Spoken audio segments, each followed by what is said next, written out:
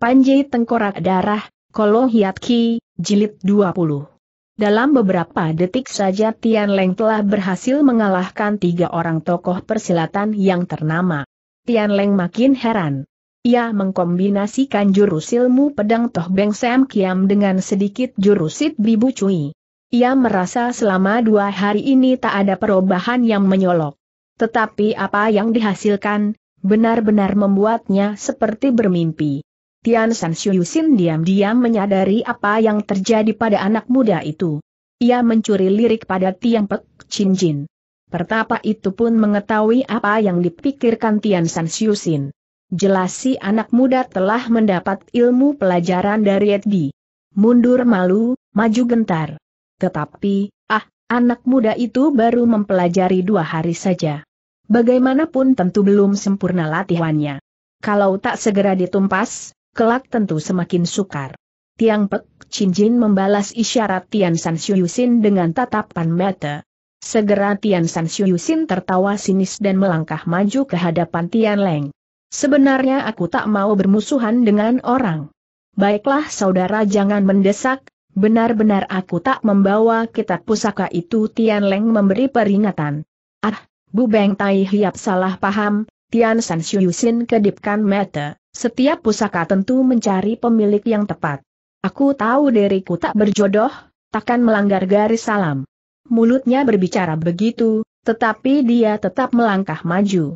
Xiao Bun yang berdiri di samping, tahu maksud orang, namun ia hanya ganda tertawa saja. Kalau Chun Kia tak bermaksud begitu, baiklah segera tinggalkan tempat ini. Tian San Yusin cepat-cepat menukas, aku hanya akan bertanya padamu, ia sudah berada dua meter di hadapan Tian Leng. Juga Tiang Pek Chin Jin yang berada di belakang Tian Leng, berkisar merapat di belakang Tian Leng. Aku tak bermusuhan kepada kalian berdua. Sedapat mungkin jangan kita bertempur lagi. Silakan bertanya, Aku pun segera angkat kaki dari sini sahut Tian Leng. Tiba-tiba Tiang Pek Chin Jin memberi isyarat metu kepada Tian San Xusin. Aku ingin bertanya apakah Bu Beng Tai Hiap sudah mendapatkan kitab pusaka itu atau belum tanya Tian San Xusin pula.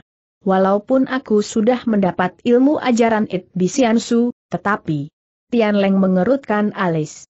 Suami istri Im Yang Songsat dan Paderi Kobok yang masih duduk di tanah, mengerang.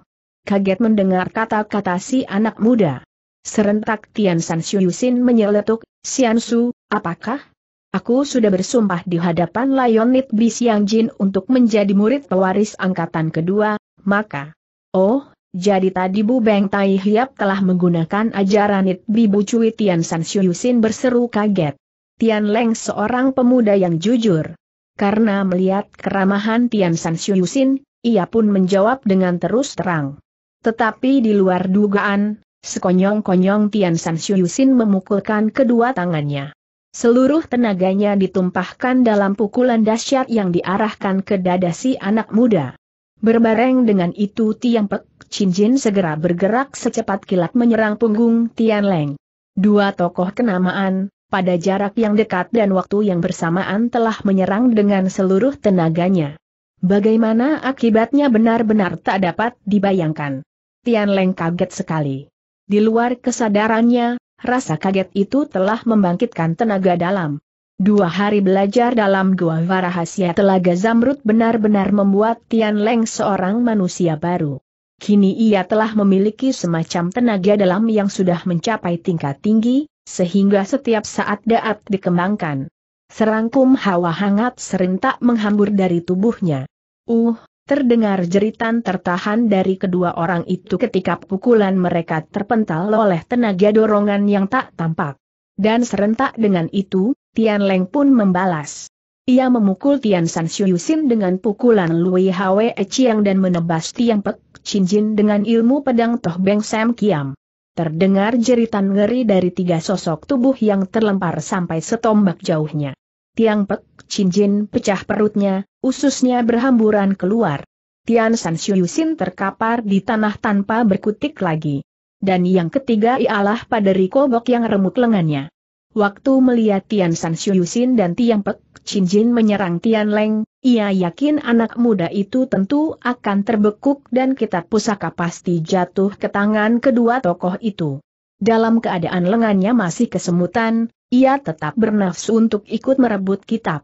Segera ia menghantam Tian Leng dengan tinju kirinya. Tetapi akibatnya mengerikan sekali. Tian Leng berputar dan menyongsong dengan pukulan tubuh pada Riko Bok laksana layang-layang putus talinya, ia terlempar sampai setombak lebih. Separuh badan gosong, tulang remuk dan jiwanya pun melayang.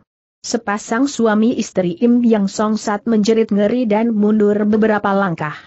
Tian Leng memandang terlongong-longong ke arah ketiga mayat yang menjadi korbannya itu. Ia benar-benar seperti bermimpi. Adik bun, Apakah ini benar-benar terjadi beberapa saat kemudian ia bertanya.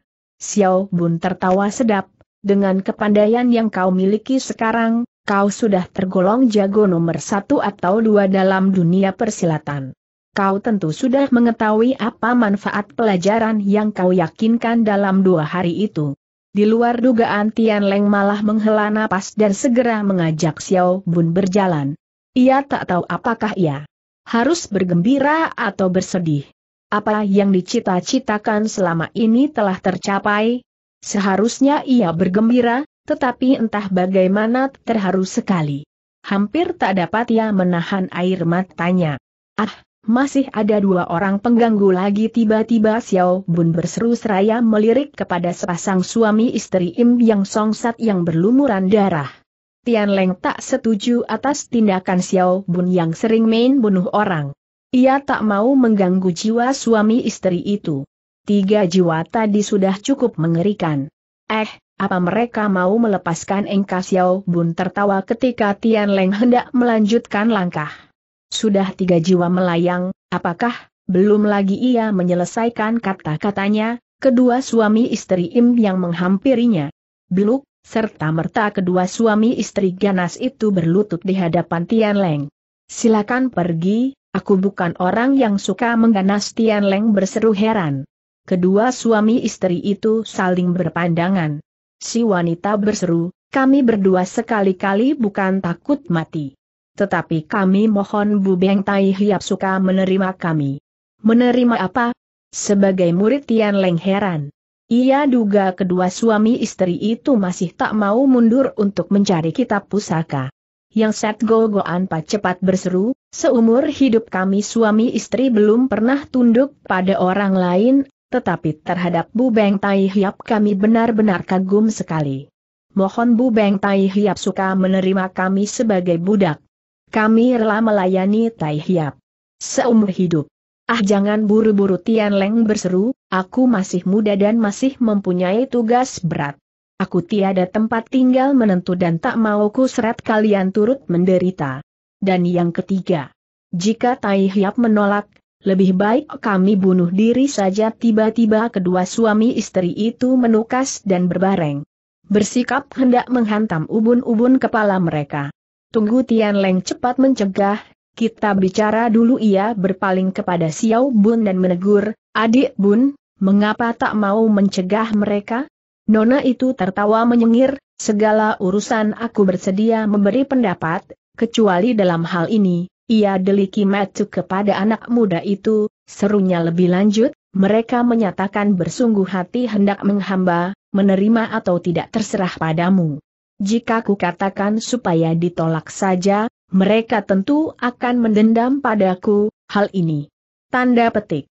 Nona mengerti jelas, buru-buru suami istri itu menghadap ke arah Xiao Bun, bahwa kami bersungguh hati hendak menjadi hamba Tai Hiap. Kami harap bantuan Nona untuk menganjurkan Tai Hiap supaya sudi menerima permintaan kami. Dahulu kami telah bersumpah, kalau tak dapat menjadi jago nomor satu di dunia, kami rela menjadi budaknya saja atau lebih baik mati. Telah kukatakan, Xiao Bun tertawa sinis, aku tak mau campur urusan ini. Lebih baik kalian langsung menanyakan padanya, mungkin. Bu Beng Tai Hiap bukan orang yang suka mengecewakan harapan orang, mungkin saja ya. Tertawa. Dengan girang kedua suami istri itu segera mendesak Tian Leng pula. Aku mempunyai kesulitan yang sukar ku katakan, akhirnya Tian Leng menyaut. Yang Set Go Go Po menghela napas panjang. Ah, kalau begitu, hamba pun tak berani memaksa. Ah, ia berpaling kepada istrinya, kita terpaksa harus melaksanakan sumpah kita dahulu. Sahut si istri Im Set dengan menghela napas, apa boleh buat, kita tak dapat berbuat apa-apa. Yang jelek adalah nasib kita, kata yang Set Go Go Anpo dengan nada rawan, ia mengangkat tinjunya lagi ke atas. Selamat tinggal istriku, kutunggu kau di pintu akhirat ia segera ayunkan tinjunya. Benar-benar Tian Leng kaget tak terkira. Ia tak mau melihat korban yang keempat. Tanpa disadari, ia ulurkan tangannya menyambar lengan yang set Go Go Anpo. Go Go Anpo meronta-ronta, lepaskan Tai Hiap, karena Tai Hiap tak mau menerima permintaan kami lebih baik kami mati saja. Apa artinya kami hidup di dunia lagi, lebih baik ia meronta-ronta seperti orang kalap hendak bunuh diri. Mengapa kau begitu keras kepala? Ketahuilah kalau kalian ikut padaku, lebih banyak menderita daripada bahagia. Tetapi itu sudah menjadi sumpah kami. Untung celaka kami sudah bersedia si wanita imset menyeletuk. Kembali Tian Leng memandang ke arah Xiao Bun, tapi nona itu hanya tertawa mengikik tak mengacuhkan. Akhirnya Tian Leng mengalah, baiklah, ku terima permintaan kalian, tetapi... Tiba-tiba ia berubah nada bengis, lebih. Dahulu kalian harus berjanji tak boleh melakukan kejahatan lagi. Segala hal harus berunding padaku. Sudah tentu hamba tak berani bertindak sendiri. Dalam segala hal, biar kecil maupun besar tentu akan menjalankan perintah Tuan buru-buru kedua suami istri itu menyatakan. Tian Leng menghela napas. Terpaksa ia menerima kedua suami istri itu menjadi budaknya, walaupun sebenarnya ia tak suka. Aku harus memberi selamat padamu Xiao Bun tertawa, pertama atas pengangkatanmu sebagai ketua partai. Pengemis dan kini mendapat pengabdian dari dua orang tokoh berilmu. Kau harus memaklumi keadaanku Tian Leng tertawa meringis dan terus melanjutkan langkah. Xiao Bun dan Kedua suami istri Im Yang Song Set mengikuti. Di luar lembah rombongan pengemis yang dipimpin Logik Siu tentu akan menyambut kedatangannya dengan gembira. Demikian pikir Tian Leng. Tetapi ternyata ia tak melihat barang seorang pun pengemis. Lo Tong Chu, Lo, Tong Chu, demikian Tian Leng meneriaki Logik Siu. Tetapi suaranya tak menyaut. Orang pun tak tampak. Tian Leng gelisah. Eh, Mengapa kau ini tegur Xiao Bun? Sebagai ketua Kaipang, aku belum pernah mendirikan jasa apa-apa terhadap partai. Kini kelihatannya malah membuat mereka tertimpa bahaya.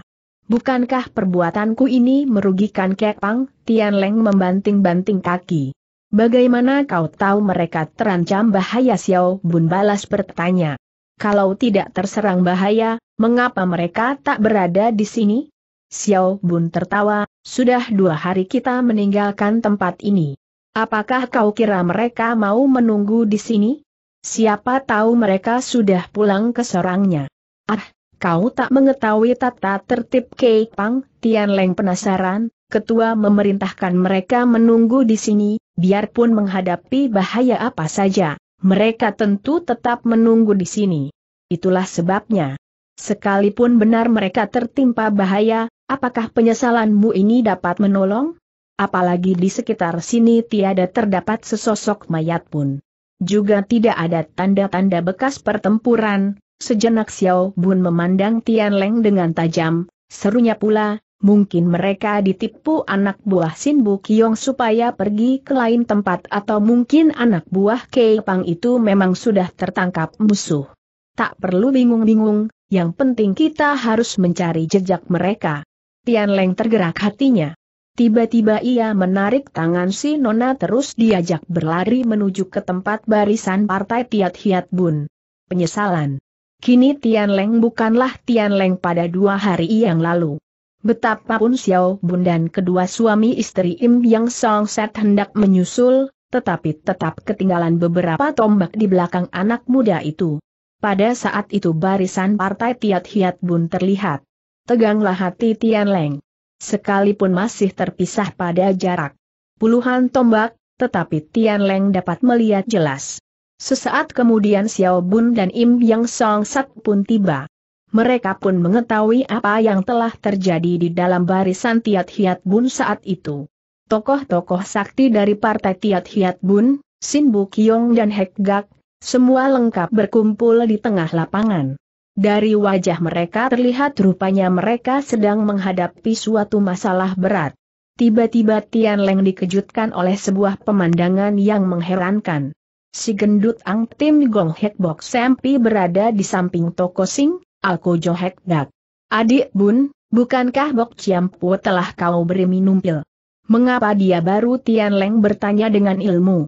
Menyusup suara, Xiao Bun sudah menukas. Mestinya pil itu dapat menyembuhkan ingatannya yang linglung.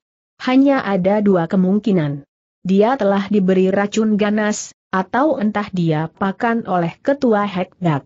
Tian Leng menghela napas. Kalau ketua Hekdak benar-benar telah merusak urat syaraf jago tua itu, sukarlah untuk menyembuhkannya lagi. Ketiga partai yang hadir di lapangan itu tak kurang dari dua tiga ratus orang banyaknya. Sekalipun belum ada tanda-tanda pertempuran tetapi suasananya tegang sekali telah membuat saudara menunggu sampai dua hari dua malam. Sekarang apakah hendak bubaran tiba-tiba? Jenggot perak Luliang Ong berseru. Sin Bu Tekun segera menggembor, Lu Loji, tak kuhiraukan segala apa lagi kecuali hendak bertempur denganmu. Di dunia persilatan hanya terdapat satu, ada Tiat Hiat Bun tak ada Sin Bu Kiong, ada Sin Bu Kiong tak ada Tiat Hiat Bun. Lu Liang Ong tertawa acuh tak acuh, oh, jadi kedatanganmu ke Gunung Tai Hang San sini untuk hal itu. Sin Bu Tekun terbeliak diam. Matanya berkeliaran menyapu ke sekeliling. Dilihatnya rombongan Hek gak hadir lengkap. Agak legalah hati Sin Bu Tekun. Apakah maksud kedatanganku kemari, tak perlu kau resahkan. Yang jelas, sekarang kita selesaikan dulu persoalan kita serunya dengan dingin. Bagaimana dengan kitab pusaka Yit Bisyang Jin? Tidak khawatir didahului orang lain jenggot perak tertawa mengejek. Dengarlah seru Sin Bu Tekun dengan suara mantap, sekalipun orang yang mempunyai peta telaga zamrud itu sudah berhasil mendapatkan kitab pusaka, tetapi jangan harap dia bisa lolos dari gunung ini. Ucapan itu mengandung maksud bahwa Sin Tekun telah memerintahkan anak buahnya untuk menghadang semua jalan di Tai Hang San. Karena ketua Hekgak juga mempunyai kepentingan dalam memburu kitab itu, ia hanya mendengus saja.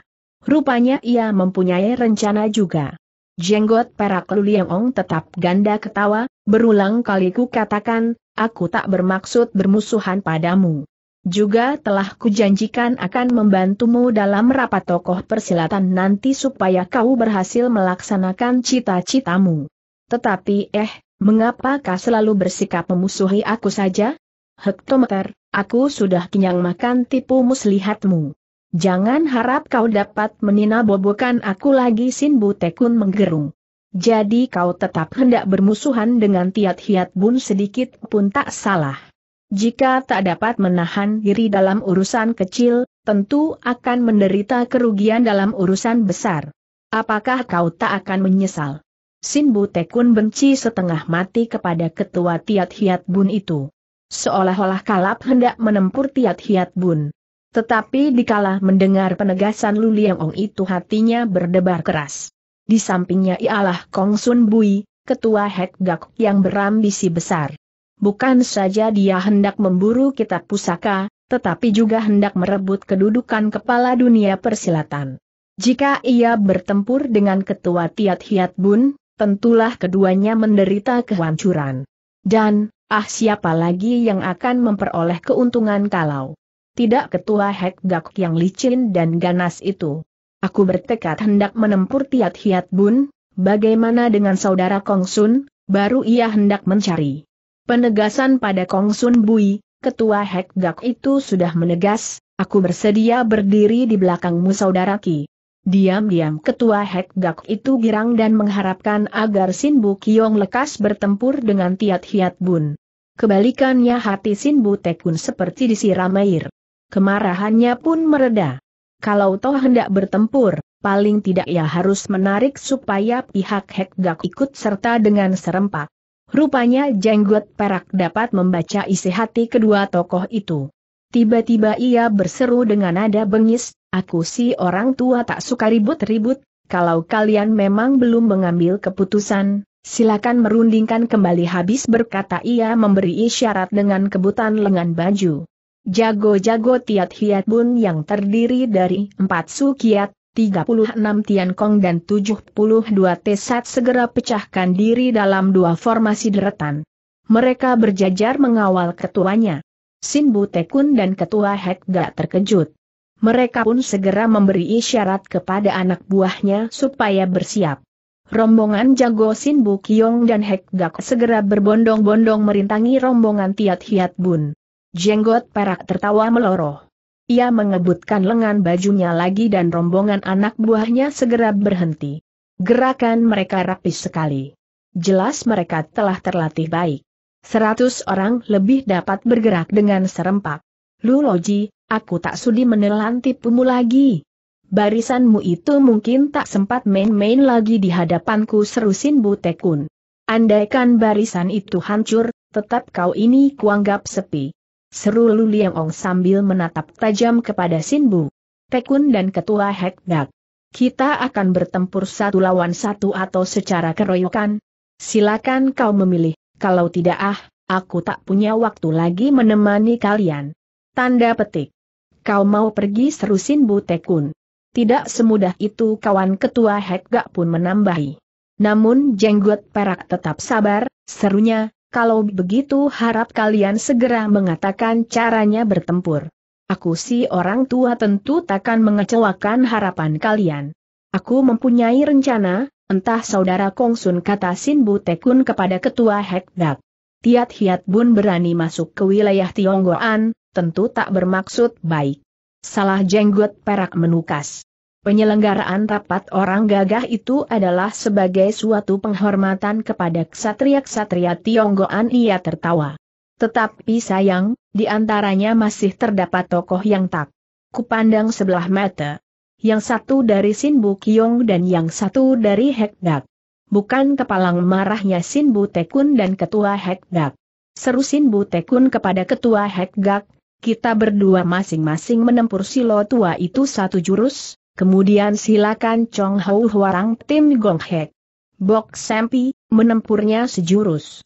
Jadi tua bangka itu harus bertempur tiga jurus. Kalau dia kalah dua jurus. Sengaja kata-kata itu diucapkan dengan keras agar jenggot perak mendengar. Sebelum selesai, jenggot perak sudah menukas, jika aku si tua ini sampai kalah dua kali, aku segera meninggalkan Tionggoan dan Tiat Hiat Bun takkan muncul lagi di masyarakat. Sudahlah, jangan diperpanjang lagi. Aku setuju dengan care itu, tetapi, bagaimana kalau aku yang menang? Sin Bu Tekun gelagapan. Buru-buru ia berpaling kepada Ketua Hek Gak, bagaimana pendapat Saudara Kong Sun? Sebenarnya Ketua Hek Gak tak menyetujui usul Sin Bu Tekun. Tetapi ia tiba-tiba mendapat pikiran. Ia merasa kepandaiannya masih kalah dengan Sin Tekun. Ia harus mengadu Sin Tekun dengan jenggot perak. Andai kata Sin Tekun yang menang, ia akan mengajukan gurunya. Tetapi kalau jenggot perak yang menang, ia nanti akan mencari alasan untuk membatalkan perjanjian. Tertawalah ia dengan sinis, Lo tua berjanji akan pergi dari Tionggoan kalau sampai kalah. Kita pun juga demikian. Kalau sampai kalah, kita harus mengasingkan diri takkan muncul lagi di dunia persilatan. Adil bukan? Jenggot perak mengangguk-angguk tertawa puas, aku tak berani meminta lebih dari itu. Perjanjian itu kita resmikan ia mengisar maju selangkah, serunya, aku si orang tua harus menghadapi tiga lawan. Siapakah yang lebih dulu hendak menjadi lawanku? Cepat ketua Hekga menyahut, Nama Sin Bu Kiong sudah termasyhur di dunia persilatan, sudah tentu aku tak berani melancangi. Diam-diam Sin Bu Tekun mendamprat kelicikan ketua Hek Dak. Namun ia pun segera melangkah ke hadapan jago Tiat Hiat Bun, serunya, baiklah, aku akan mohon sejurus pelajaran darimu. Dalam kitab pusaka Im Hu Pokip, ilmu jari Hiat Im Chi termasuk yang paling hebat sendiri. Dan ilmu itu telah dilatihnya dengan sempurna. Apabila kelima jarinya digerakkan, hebatnya bukan kepalang. Betapapun lihainya jenggot perak, pun tentu akan kalah. Sin Bu Tekun menutup kata-katanya dengan sebuah jurus-jurus Go Hian atau lima jari serentak menyambar. Jenggot perak tertawa. Ia menamparkan tangannya ke kanan. Tar. Keduanya adalah tokoh kelas satu. Gerakan mereka cepat dan dahsyat. Dalam lingkungan satu tombak, bumi terasa bergetar. Tetapi ketika kedua jago itu belum beradu pukulan, sekonyong-konyong terdengar lengking bentakan orang, tahan. Sesosok tubuh menyela di tengah kedua tokoh itu. Jenggot perak dan Sinbu Tekun serentak menyurut mundur beberapa langkah. Seorang pemuda berbaju biru tegak berdiri dengan gagahnya. Jenggot perak girang, Sinbu Tekun terkejut dan sekalian orang berteriak kaget. Itulah Tian Leng. Mereka melihat gerakan pemuda itu jauh bedanya dengan dua hari yang lalu. Hai budak, Apakah kau hendak melanjutkan pertempuran kita lagi teriak Sin Bu Tekun? Benar, memang aku hendak melanjutkan pertempuran kita yang belum selesai itu, seru Tian Leng. Sin Bu Tekun membelalakan matanya, eh, rupanya dalam dua hari ini kegagahanmu bertambah. Tahu sendiri sajalah, Tian Leng tertawa dingin, lalu memberi hormat kepada jenggot perak, Wampu telah berjumpa maksudnya hendak menjelaskan tentang si Dara Lubu Song. Tetapi jenggot perak segera menukas dengan ilmu menyusup suara, mengapa kau mengganggu pertempuranku dengan iblis tua ini? Tian Leng menyahut juga dengan ilmu menyusup suara, Wampu hendak mewakili. Tanda petik. Mana kau sanggup menandinginya? Terus terang, Wampu telah mendapatkan ilmu ajaran Itbis yang Jin Jenggot perak tersentak kaget, Apakah kitab itu ada padamu? Tidak, pelajaran itu dilukis di tembok. Tetapi kau hanya belajar dua hari, mana dapat mempelajari dengan mahir jenggot perak menegas, walaupun tadi telah diketahui jelas betapa jauh bedanya gerakan pemuda itu sekarang. Harap Lo Ciampu jangan khawatir, Wampu sanggup menandinginya, sahut Tian Leng dengan yakin. Baik, cobalah, jenggot perak tertawa riang. Di antara sekalian orang yang berada di situ, adalah Ang Tim Gong Hek Bok Sempi yang paling tegang. Ia masih ingat ketika di dalam Hek Gak dijatuhkan oleh anak perempuan kawan pemuda itu. Segera ia hendak melangkah maju, tetapi ketua Hek Gak cepat-cepat membisikinya. Bok Sempi terpaksa menahan kemarahannya. Di manakah Xiao Bu dan kedua suami istri Im Yang Song Set? Ternyata mereka bersembunyi untuk menunggu perkembangan. Sebagai seorang tokoh yang berpengalaman, Sin Bu Tekun sudah menaruh kecurigaan atas sikap Tian Leng yang begitu garang tentu pemuda itu telah mendapat apa-apa yang luar biasa. Namun ia tak percaya bahwa hanya dalam dua hari saja, pemuda itu dapat berganti tulang. Bagaimanapun ia tentu dapat menguasainya. Lu tua, hendak menerencanakan apa kau dengan budak hina itu? Bagaimana dengan acara kita tegurnya ketika melihat jenggot perak bertukar cakap dengan Tian Leng? Jenggot perak tertawa, aku hendak menarik diri. Menarik diri Sin Bu Tekun terkejut, hai, apakah kau menyesal karena takut mati di tangan orang Sin Bu Kiong kuwakilkan pada anak muda ini, aku cukup menonton di samping saja, sahut jenggot perak. Budak itu Sin Bu Tekun tertawa mengejek. Iblis tua, jangan temberang bentak Tian Leng saya melangkah maju. Baiklah, takkan kutolak maksudmu, tetapi... Sin Bu Tekun tertawa. Ia berkata kepada ketua Hek Gak, dengan anak itu aku mempunyai taruhan seratus jurus. Masih sepuluh jurus belum selesai.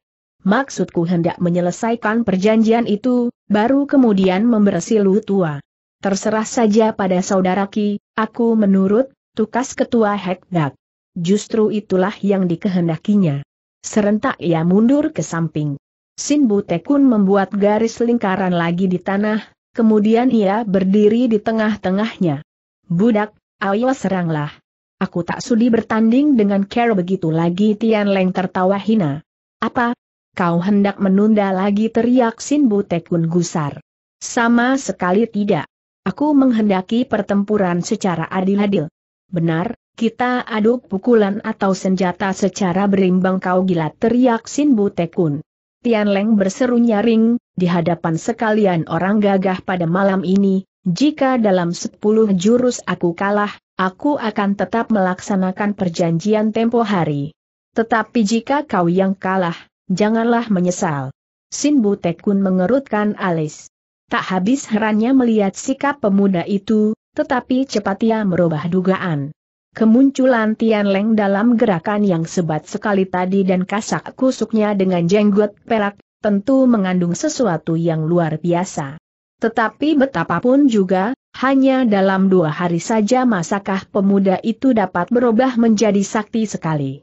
Andai kata Tian Leng benar-benar telah mendapatkan warisan kitab pusaka Dit Bisiang Jin, pun dalam waktu dua hari saja apa yang dapat dicapainya.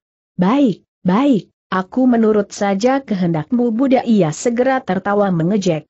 Segera ia melangkah keluar dari garis lingkaran, serunya, seranglah. Tian Leng mendengus Shina, hektometer, iblis tua, jangan sombong kau, hati-hatilah. Peringatan itu ditutup dengan sebuah gerakan menampar. Tamparan itu menggunakan jurus Lui Hwe Chiang jurus yang sudah diketahui jelas oleh Sin Bu Tekun. Karena waktu pertandingan 90 jurus yang lalu, tanpa balas menyerang, Sin Bu Tekun dapat menghindari seluruh serangan Lui Hwe Chiang dari Tian Leng. Oh, permainan lama kau keluarkan lagi. Apakah kau sudah bosan hidup? Ejeknya. Ia yakin sekali gerak tentu. Dapat memunahkan serangan anak muda itu. Ia hendak membunuh pemuda itu. Maka sekali gerak ia menggunakan ilmu kinaciu. Pil pahit. Kinaciu adalah ilmu tangan kosong untuk merampas senjata atau meringkus lawan. Sin Bu Tekun sekali gerak hendak mencengkeram lengan kanan Tian Leng. Tetapi baru tangannya bergerak setengah jalan, ia terkejut. Ia merasakan jarinya seperti tercengkam api dan lengannya seperti dirayapi aliran tenaga panas yang menyerang dadanya. Sebagai seorang tokoh sakti, ia cukup paham apa artinya itu. Nyata kepandaian anak muda itu sepuluh kali lipat dari yang dulu. Ya, memang demikianlah. Ilmu Lui Hwe yang memang dapat membakar hangus organ dalam tubuh orang dan dapat memusnahkan tenaga lawan. Gerakan Kinachiu Sin Bu Tekun tadi telah menimbulkan reaksi hebat. Dia seperti membentur tenaga membalik yang hebat, sehingga di luar kehendaknya, tubuhnya terhuyung. Untunglah ia cepat-cepat loncat ke samping. Karena gerakannya itu secepat angin, maka pukulan Tian Leng menghantam tempat kosong dan boom. Sebuah batu besar yang berada beberapa langkah di sebelah depan berguguran hancur. Dan serentak dengan itu berhembuslah angin panas ke seluruh penjuru. Sekalian orang sama terkejut. Pukulan Tian Leng itu memancarkan hawa panas. Sedemikian panasnya hingga batu pun berguguran lumer. Budak, dalam dua hari ini apa yang kau ketemukan teriak Sin Bu Tekun dengan wajah pucat. Tian Leng sendiri juga terkejut atas hasil pukulannya itu. Hampir ia sendiri tak percaya. Memang yang dilancarkan itu ialah pukulan Lui Hwe Chiang, api geledek. Tetapi perbawanya jauh sekali bedanya dengan yang dulu. Tak perlu kau tanyakan. Jurus ke satu jenggot perak tertawa menghitung. Ya, masih ada sembilan jurus lagi. Dan kali ini silakan kau yang menyerang dulu seru Tian Leng. Sin Bu Tekun masih tercekam dalam keheranannya. Ia sudah terlanjur mengumbar kata-kata besar. Terpaksa ia harus bertindak. Setelah menenangkan semangat, ia mengembor dan mendorongkan kedua tangannya. Itulah baru pertama kali ia menggunakan pukulan dalam kitab pusaka Imhu Pokip dengan sepasang tangan. Biasanya dengan satu tangan saja, cukuplah ia mengalahkan lawan. Kali ini ia gemas sekali. Tetapi Tian Leng sudah mendapat kepercayaan atas kemampuannya. Ia pun juga segera menyongsong dengan kedua tangannya. Des ketika dua pasang tinju saling beradu, bukan ledakan keras yang terdengar, melainkan suara mendesis macam api tersiram air. Tinju mereka saling melekat. Sampai lama barulah mereka sama menarik diri, menyurut tiga langkah ke belakang. Dua kembali jenggot perak menghitung. Wajah Sin Butekun pucat seperti kertas. Darahnya serasa bergolak. Matanya berkunang-kunang gelap. Bumi yang dipijaknya serasa berputar, beluk, akhirnya ia jatuh ke tanah. Juga Tian Leng tak kurang penderitaannya. Wajahnya menguning pucat, darahnya bergolak dan hampir saja ia rubuh. Untunglah ia dapat mempertahankan diri. Setelah menyalurkan napas beberapa saat, ia sudah pulih kembali. Maju lagi ke muka Sin Bu Tekun, ia menantang, ayo, serang lagi. Adu tenaga tadi menghasilkan keduanya sama-sama menderita luka dalam. Seharusnya mereka perlu beristirahat beberapa saat untuk memulihkan diri bahwa Tian Leng dalam beberapa kejap saja sudah berani menantang lagi, benar-benar mengejutkan orang. Bahkan Sin Bu Tekun sendiri juga seperti melihat hantu di siang hari.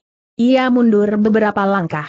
Iblis tua, masih delapan jurus lagi, ayo silakan menyerang lagi seru Tian Leng. Sin Bu Tekun paksakan tertawa, aku hendak mengajukan sebuah usul. Tanda petik. Katakan Tian Leng heran. Sisa delapan jurus supaya ditangguhkan dulu, karena kau pun pernah meminta begitu kata Sin Bu Tekun. Dengan kemalu-maluan. Tian Leng kaget. Jelas bahwa sekarang Sin Bu Tekun dijeri padanya. Sebenarnya ia ingin menghancurkan si iblis saat itu juga. Tetapi dulu ia pernah mengajukan usul begitu. Di hadapan sekalian orang gagah, terpaksa ia meluluskan usul Sin Bu Tekun. Baiklah, aku setuju. Pergilah akhirnya ia memberi jawaban. Bersambung ke jilid 21.